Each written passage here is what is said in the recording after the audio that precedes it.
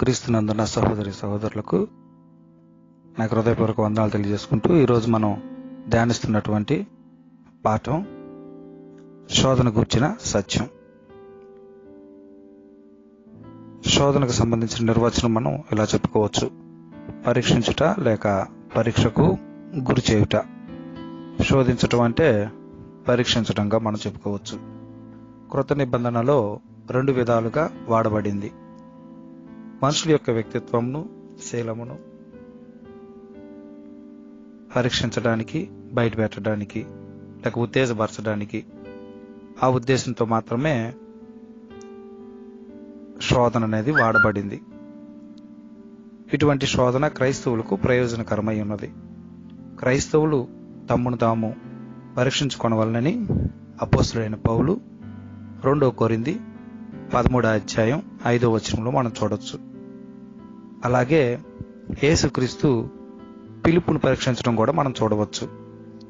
యోహాన్ సువార్త ఆరో అధ్యాయం ఆరో వచనం మనం చూసినట్లయితే తాను చేయనై ఉన్నటువంటి అద్భుతము తాను ఎరిగియు యేసుక్రీస్తు పిలుపును పరీక్షించటం మనం గమనించవచ్చు. చూడండి ఆరో అధ్యాయం ఐదో వచనం. కాబట్టి యేసు కన్నులెత్తి బహుజనులు తన యుద్ధకు వచ్చుట చూచి వీరు భుజించుటకు ఎక్కడ నుండి రొట్టెలు కొని తెప్పింతుమని పిలుపునడిగెను. గాని యేసు చేయనయ్యుండెనో తానే ఎరిగియుండి అతనిని పరీక్షించుటకు అలాగడిగెను. కాబట్టి క్రైస్తవులకు వచ్చేటువంటి శోధనలు వారి యొక్క వ్యక్తిత్వాన్ని పెంపొందింపజేయటానికి అవి బయట పెట్టడానికి దేవుని మహింపరచడానికై ఉద్దేశాన్ని కలిగి ఉన్నవి. కాబట్టి శోధనలు క్రైస్తవులకు మేలుకరమై ఉన్నవన్న విషయాన్ని మనం గమనించాలి. కాబట్టి క్రైస్తవులు వాటిని ఎదుర్కొనేటప్పుడు ఆయా సమయాల్లో విశ్వసనీయమైన వారుగా నిలిచి ఉన్నట్లయితే అవి మనకు ప్రయోజనకరమై మంచి ప్రభావాన్ని కలగజేస్తాయి. అందుకే శోధన సహించువాడు ధన్యుడు జీవ కిరీటం పొందును. యాకోబు రాసిన పత్రిక మొదటి అధ్యాయం మూడో వచనం అలాగే పన్నెండవ వచనం చూసినట్లయితే మనం గమనించవచ్చు. రెండవదిగా శోధనలు. చెడు చేయటానికి ప్రలోభ పెట్టడానికి కూడా శోధనలు అనేవి వాడబడ్డాయి. అయితే చెడు చేయటానికి దేవుడు ఎప్పుడు కూడా శోధించడు. దేవుని యొక్క వ్యక్తిత్వం అటువంటిది కాదు. కానీ ఇక్కడ పరిచయలు చూసినట్లయితే సద్దుకైలు పరిచయలు యేసును పరీక్షించడానికి చూశారు. మత్స్వార్త స్వార్థ పదహారు అధ్యాయము మొదటి వచనం చూసినట్లయితే మత్స్వార్త స్వార్థ పదహార అధ్యాయం మొదటి వచనం. అప్పుడు పరిశైలును సర్దుకాయలను వచ్చి ఆయనను శోధించుటకు ఆకాశం నుండి ఒక సూచక్రియను తమకు చూపమని ఆయనను అడగగా ఆయన ఇట్లనెను ఇలా పలుమార్లు యేసుక్రీస్తును శోధించడానికి శాస్త్రులు పరిశైలు సర్దుకాయలు ప్రయత్నించినట్లు మనం చూడవచ్చు. అంటే ఒక మనిషిలో ఉన్నటువంటి వ్యక్తిత్వంను తప్పుదోవ పట్టించడానికి వారి చేత చెడు చేయించడానికి వారి చేత పాపం చేయించడానికి పట్టుబట్టి చేసే ప్రయత్నము ఒక శోధనగా చెప్పుకోవచ్చు. అయితే క్రైస్తవులకు మాత్రం తమ యొక్క వ్యక్తిత్వాన్ని బయట పెట్టుకోవటానికి దేవుని మహింపరచడానికి శోధనలు అనేవి ఎంతో మేలుకరమైనవి. కానీ రెండవదిగా చెడు చేయించడానికి ప్రలోభ పెట్టేవి శోధనలు ఉంటాయి. ఉంటాయి కాబట్టి వాటి విషయంలో మనం జాగ్రత్తగా ఉండాలి. తర్వాత పాపం చేయటానికి శోధింపబడతారు. అనగా ఊరించబడతారు. ఇది మనం యాకూబ్ రాసిన పత్రిక మొదటి అధ్యాయము పద్నాలుగు పదిహేనులో చూడవచ్చు.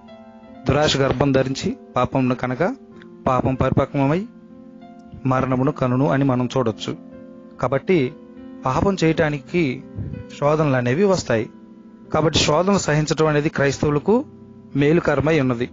శోధన సహించటం అనేది పాపం కాదు కానీ శోధనలో ప్రవేశించటం అనేది పాపం. కాబట్టి ఈరోజు మనం శోధన గూర్చిన సత్యాన్ని మనం ధ్యానించబోతున్నాం. రెండు విధాలైనటువంటి శోధన యొక్క ఉద్దేశాలను మనం గమనించవచ్చు. మన యొక్క శీలాన్ని దేవుని ఎదుట బయట పెట్టుకునేటువంటి అవకాశం ఒకటి ఇంకోటి చెడు చేయటానికి ప్రలోభ పెట్టడానికి వచ్చేటువంటి శోధనలు. యేసుక్రీస్తుకు హాని చేయటానికి చెడు నిమిత్తం వచ్చినటువంటి శోధనలను యేసుక్రీస్తు వాక్యం ద్వారా ఎదుర్కొన్నాడు. క్రైస్తవమైనటువంటి మనకు మన యొక్క శీలము అభివృద్ధి చెందటానికి దేవుని మహింపరచడానికి వచ్చేటువంటి శోధనలను దేవుడు మనకు అనుమతిస్తాడు. అది మనకు మేలుకరమై ఉన్నదన్న విషయాన్ని మనం గమనించాలి.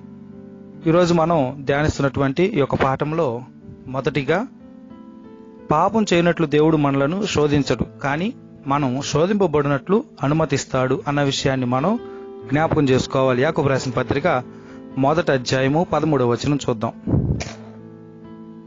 యాకబు రాసిన పత్రిక మొదటి అధ్యాయం పదమూడవ వచనం.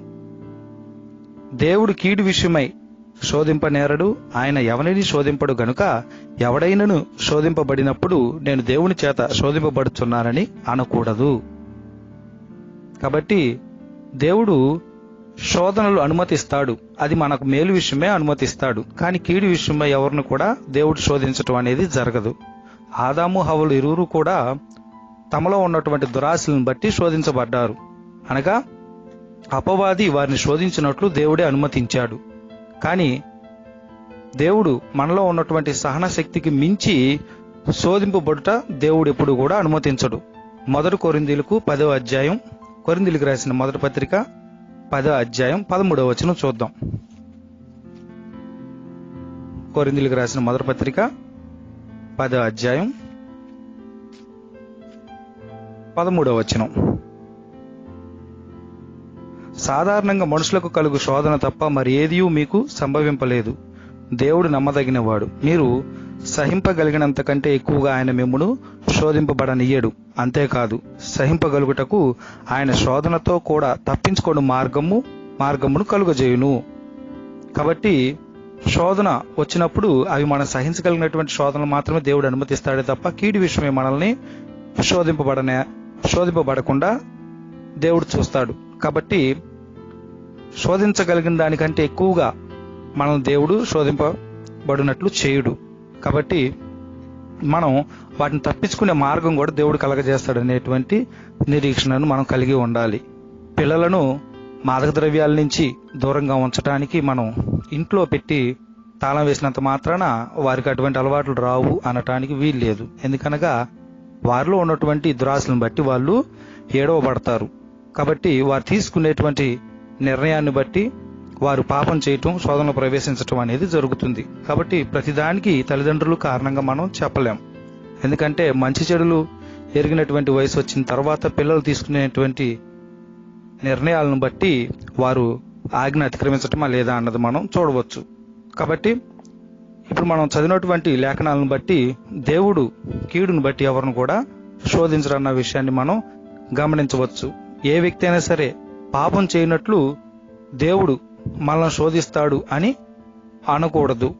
శోధకుడు పాపం చేయనట్లు శతవిధాల ప్రయత్నిస్తాడు అన్న విషయాన్ని గమనించాలి తప్ప దేవుడు మన యొక్క గుణాలు అభివృద్ధి చెందటానికి మన యొక్క వ్యక్తిత్వాన్ని బయటపెట్టడానికి దేవుని మహింపరచడానికి మాత్రమే శోధనలు అనుమతిస్తాడు. అవి కూడా మనం వాటిని సహించగలిగిన దానికంటే ఎక్కువగా కూడా దేవుడు శోధింపబడటానికి అనుమతిని ఇవ్వడు. రెండవ పాయింట్గా మనం సాతాను శోధిస్తాడు కానీ బలవంతం చేయడు అనేటువంటి రెండో పాయింట్ని మనం తీసుకొని ధ్యానిద్దాం. చూడండి యోబు శోధింపబడినట్లు అపవాది చేత శోధించబడినట్లు దేవుడు అనుమతించాడు. అయినప్పటికీ యోబు పాపం మాత్రం చేయలేదు. అపవాదిని శోధకుడు అని కూడా అనవచ్చు. ఎందుకంటే శోధకుడు చేసే పని శోధిస్తాడు. మత స్వార్థ నాలుగో అధ్యాయము మూడో వచనం ఒకసారి చూద్దాం. మత వార్త నాలుగో అధ్యాయం మూడో వచనం. ఆ శోధకుడు ఆయన యొద్దకు వచ్చి నీవు దేవుని కుమారుడు అయితే ఈ రాళ్ళు రొట్టెలగునట్లు ఆజ్ఞాపించుమనెను. అందుకు ఆయన మనుషుడు రొట్టె వలన మాత్రం కాదు కానీ దేవుడు దేవుని నోట నుండి వచ్చు ప్రతి మాట వలనను జీవించును అని వ్రాయబడి ఉన్నదనను. కాబట్టి శోధకుడి యొక్క పని ఏంటంటే ఆజ్ఞను అతిక్రమించినట్లు ప్రలోభ పెట్టే విధంగా దేవునికి దూరం అయ్యే విధంగా చాలా వరకు కృషి చేస్తాడు. అప్పుడు వాక్యమును మన హృదయంలో భద్రపరుచుకున్నట్లయితే వాక్యం ద్వారా మనం శోధనలను జయించవచ్చు. అలాగే దశలోనికి రాసిన మొదటి పత్రిక మూడో అధ్యాయం దశలోనికులకు రాసిన పత్రిక మొదటి పత్రిక మూడో అధ్యాయం.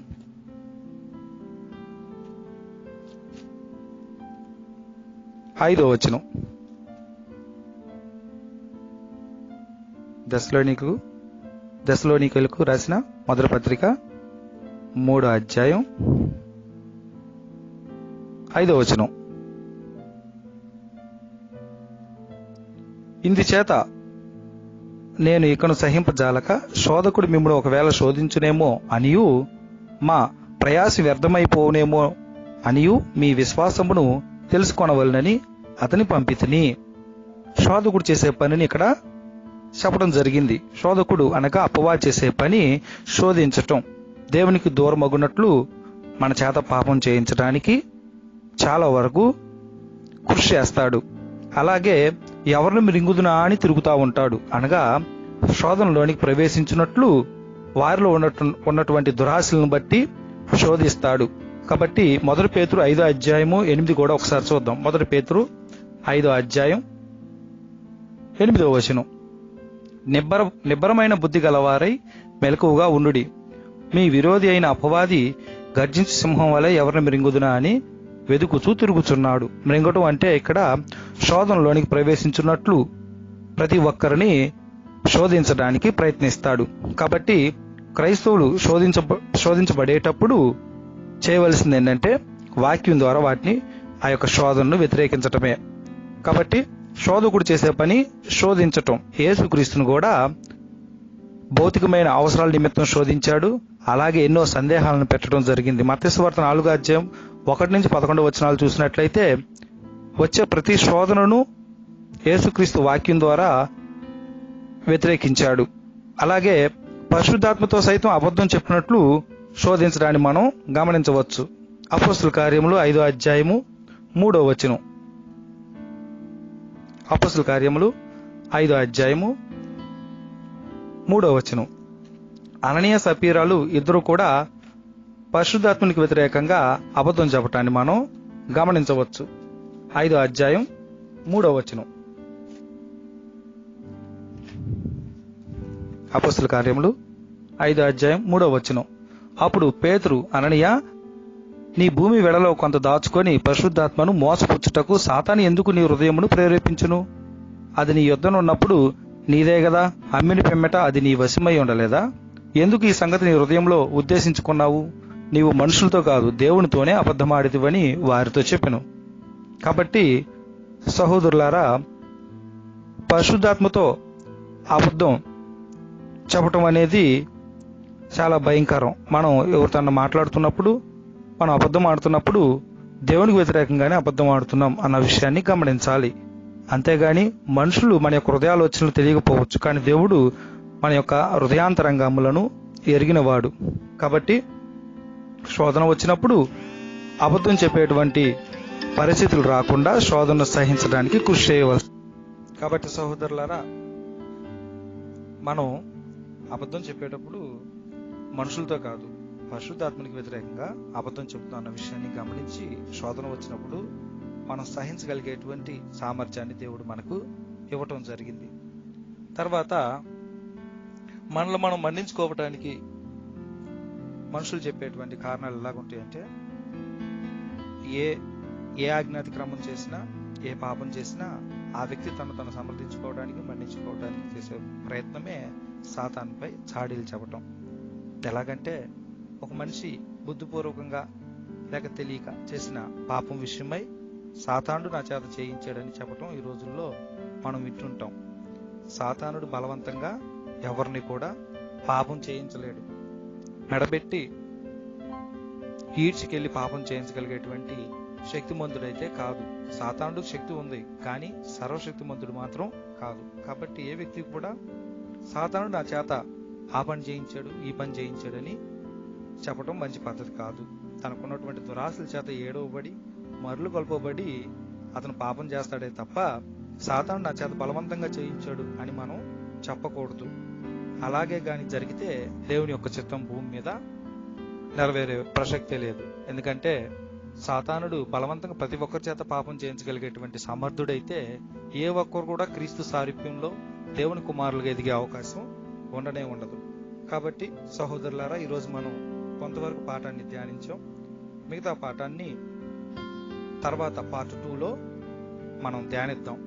కాబట్టి సహోదరులారు ఇప్పుడు వరకు ఉన్నటువంటి పాఠంలో మనం గమనించాల్సిన విషయం శోధన కూర్చున్న సత్యంలో శోధన అనగా పరీక్షించుట లేక పరీక్షకు గురవుట అన్న విషయాన్ని మనం గమనించి అలాగే శోధనలు రెండు ఉద్దేశాలతో వస్తాయి. ఒకటి మన యొక్క వ్యక్తిత్వాన్ని బయలుపరచుకోవటానికి దేవుని మహింపరచడానికి వస్తాయని ఇంకొకటి శోధనలు మనం చెడు చేయడానికి ప్రలోభ పెట్టడానికి వస్తాయి అన్న విషయాన్ని మనం గమనించాలి. అలాగే పాపం చేయనట్లు దేవుడు మనల్ని ఎప్పుడు శోధించడు. కానీ శోధింపబడినట్లు అనుమతిస్తాడన్న విషయాన్ని మనం గ్రహించాం. ఉదాహరణకు మనం అవ్వ ఆదాముని హవ్వని మనం చూడొచ్చు. అలాగే మనలో సహనశక్తికి మించి శోధించబడటం అనేది దేవుడు అనుమతించడు అన్నది మనం చూసాం. టోటల్గా మొదటి పాయింట్లో దేవుడు కీడు నిమిత్తం పాపం చేయనట్లు ఏ వ్యక్తిని కూడా శోధించడన్న విషయాన్ని మనం చూసాం. రెండవదిగా సాతానుడు శోధిస్తాడు శోధకుడు. కానీ మెడబెట్టి బలవంతంగా ఏ వ్యక్తి చేత పాపం చేయించేంత శక్తిమంతుడైతే కాదు. ఉదాహరణగా మనం యోబును తీసుకున్నాం. యోబు అనేక విధాలుగా శోధించబడినప్పటికీ ఏ పాపము చేయలేదన్న విషయం మనకి తెలిసిందే. కాబట్టి భూమి మీద ఉన్న మనకు సాతానుడు శోధకుడుగా శోధిస్తూ ఉంటాడు. అయినప్పటికీ వాటిని తట్టుకోగలిగేటువంటి శక్తిని దేవుడు మనకిచ్చాడని మనం గమనించాలి. సాతానుడు ఎవరిని మింగుదునా అని గర్జించి సింహం వాళ్ళే తిరుగుతున్నాడు అంటే అర్థం ఏంటంటే శోధనలోనికి ప్రవేశించినట్లు అన్ని విధాలా కృషి చేస్తాడు. కానీ మనం వాక్యాన్ని హృదయంలో భద్రపరుచుకున్నట్లయితే శోధన మనం జయించగలం.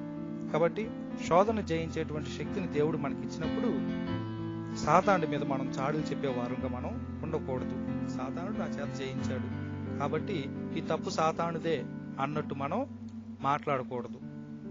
దేవుడు మనం సృజించేటప్పుడే మనలో కొన్ని సామర్థ్యాలను ఉంచాడు. కాబట్టి దేన్నైనా ఎదురు ఎదుర్కోగలిగేటువంటి సామర్థ్యాన్ని దేవుడు మనకి ఇచ్చి వాటిని మనకి తెలియపరిచాడు. కాబట్టి ఇంద్రియ నిగ్రహ శక్తినిచ్చిన దేవుడు మనం వాటిని ఎదిరి ఎదిరించడానికి మనకి శక్తి గల వారమై ఉన్నామన్న విషయాన్ని గమనించి ఈ యొక్క శోధనలు వచ్చినప్పుడు మనం వాటి విషయం మీద తుట్రెళ్ళకుండా నిలబడు వారంగా ఒకరినొకరు పరీక్షించుకుంటూ ఉండవలసిందిగా మనవి చేస్తూ సెలవు తీసుకుంటున్నాను. అందరికీ వందనాలు.